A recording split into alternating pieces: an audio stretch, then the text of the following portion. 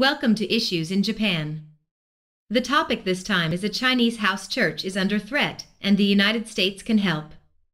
I would like to share with you the insights of Bob Fu, founder and president of ChinaAid, senior fellow for the International Religious Freedom Family Research Council, and Arielle Del Turco, the assistant director of the Center for Religious Liberty at Family Research Council. On October 5th and 6th, eight Chinese house church Christians were denied asylum in South Korea. One was Pan Yongguang, a beleaguered pastor who had fled increasing government harassment, raids, and interrogations in China. Pastor Pan could have sought safe haven alone, but instead, he held a church vote so his congregation could pray and decide together if they would remain in China or resettle in a country that would guarantee their religious freedom.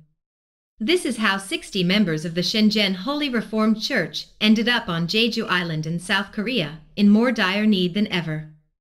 Pan established his house church in 2012 with the help of the US-based Philadelphia Bible Reformed Church. Shortly thereafter, police questioned Pan about his ties to the United States. By 2014, authorities were interrogating him at least twice a week and trying to persuade him to join the Chinese Communist Party-approved Three Self-Patriotic Movement, TPSM. Not wanting to be compelled to teach party-approved doctrine, Pastor Pan refused to join the TSPM. Authorities continued to closely monitor and surveil the church.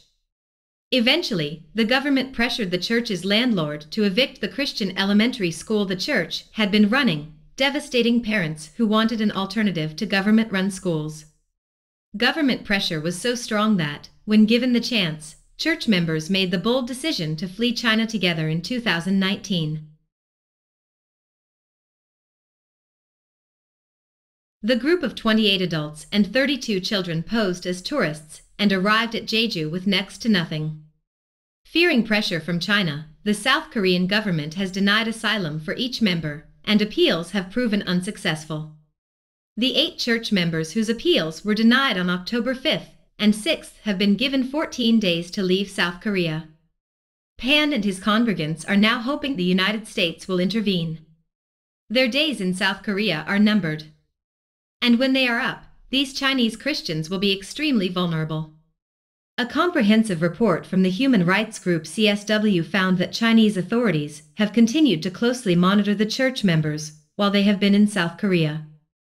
Furthermore, members who tried to make it to South Korea but were sent back by immigration officials are now under tight surveillance in China and continue to undergo police interrogations. One member is essentially under house arrest. According to CSW, the Chinese Ministry of State Security questioned members of the church who remained in China about the individuals who fled to Jeju. Pan has also reported receiving threatening phone calls from Chinese security agents accusing them of being traitors, making a forced return to China even more dangerous and punishments more likely. The threat to Christians in China is real. Pastors may be imprisoned, churches are surveilled, and state-approved churches are pressured to sing red songs praising the Chinese Communist Party. Meanwhile, the government is rewriting the Bible to make it compatible with socialist values, and crosses are being systematically torn down from church buildings. The Chinese government makes life uncomfortable for Christians, some more than others. Pan's close friend, Pastor Wang Yi, is currently serving a nine-year prison sentence for supposed subversion of state power. By the officially atheistic Chinese government's standards, Wang's act of preaching the gospel to his 500-member strong house church and publicly defending religious freedom in China are subversive activities. As China's war on faith continues, culminating in a genocide against Uyghur Muslims and unparalleled crackdowns on Tibetan Buddhists and Falun Gong practitioners, anyone who pledges allegiance to a power higher than the state is perceived as a threat to the party. This includes Pan's House Church congregation, which has been public about the Chinese government's repression. The target on their backs is now bigger than ever, and this should compel the U.S. government to allow this church to resettle in America, where churches and resettlement agencies are eager to help them start afresh. In special cases, the U.S. State Department can offer to process asylum seekers as humanitarian parolees and bring them to the United States. The situation of Shenzhen Holy Reformed Church qualifies as a special case, and Secretary of State Antony Blinken should do everything in his power to make sure these vulnerable religious minorities are not sent back into harm's way.